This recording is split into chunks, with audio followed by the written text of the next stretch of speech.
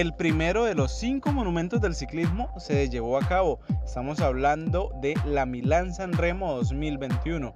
Y es que el ciclista belga Jasper Steven del Trek Segafredo sorprendió en la 112 edición de la Milán San Remo y se llevó este primer monumento luego de pasar allí y superar en línea de meta a Calen Iwan que había pasado en la segunda posición y al belga Wout van Aert que no pudieron obviamente hacer nada pues porque Jasper Steven hizo una excelente presentación y sorprendió a todos.